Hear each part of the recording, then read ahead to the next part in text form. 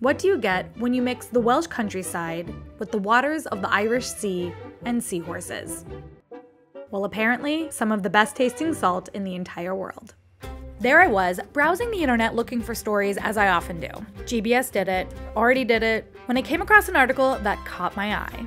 And I thought, hmm, salt, huh? Since I'm in New York City, I decided to call my friend Jacob Harrell, who some of you might recognize from this channel, to help me do this story. Okay, thank you, Beryl, for that incredibly kind introduction. Such lovely words. Right, the lovely words. Jacob is an award winning videographer. We've worked together for years at GBS. He was the perfect person to send on this little journey.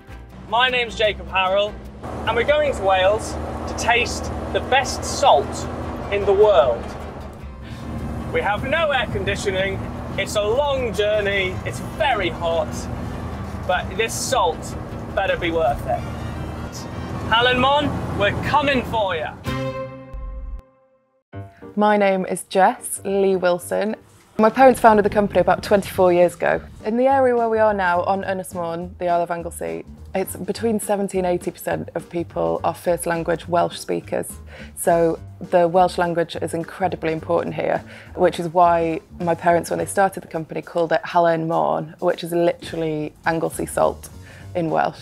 They had a pipeline and they paid the Queen for the water that they extracted from the sea because the Queen actually owns the coastline um, of the UK. So they did some kind of test batches and they knew the water was exceptionally clean because they'd been able to breed seahorses in the aquarium and seahorses are notoriously really, really fussy.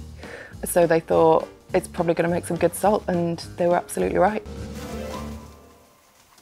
Halen Môn salt looks, feels, and tastes completely different than ordinary table salt. Table salt can often be bitter, where this one is not. It's flat and crisp and has a nice crunch when you bite into it. I'd say the number one thing that really sets Halen Môn Anglesey sea salt apart is where it's from. It's all about how clean the sea is and the process by which we make it. It goes through two natural filters, so it goes through a sandbank and it goes through a mussel bed and mussels are one of nature's greatest sort of cleaners. From there, it goes through a few stages that lead to the final step.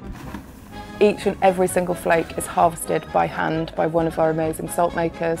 It's genuinely quite magic when you see it because it's really kind of something coming from nothing. People say, oh, but salt's salt, isn't it?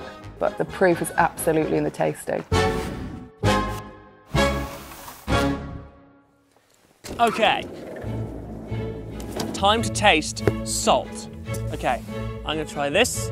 Standard, ordinary table salt. I don't really want. Well, it's just salty bitterness. Now I'm gonna try Halen Môn.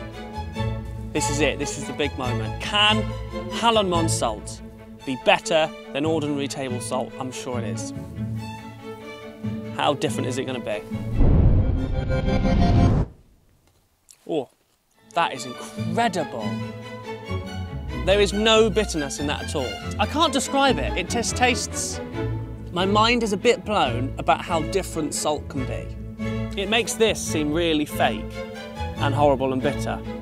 I've just eaten a lot of salt in a very short space of time.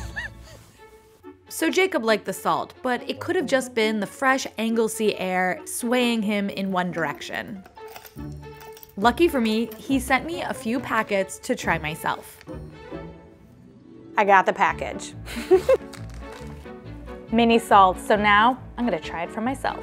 I'm gonna put it on a classic American tomato sandwich. That is white bread, mayonnaise, tomato, and salt. What did you all think of the way I cut my sandwich? Slightly disturbing, right? Okay. Honestly, you can taste the salt and it's good. I'm just gonna go with a little bit here. It's salty, but it's got like this very clean flavor. It is smooth. Whoa. I guess Jacob was kind of telling the truth and he wasn't just swept away with the winds of the Irish Sea. Is this the best salt in the world? I haven't tasted all the salts in the world, but this is definitely, definitely a good salt. Ironically enough, just down the road from Halen Môn is another GBS story that I produce about a town called Pwllgwyngyllgogerychwyrndrobwllllantysiliogogogoch, and I'm leaving it up here for you to watch.